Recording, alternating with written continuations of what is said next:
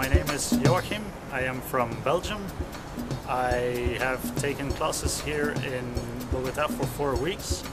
What I like most about the school Learn More Than Spanish is that the classes are really small. I've been in a class with one or two students. Um, besides that, the student, the sorry, the teachers are all linguists, so they know the language very well.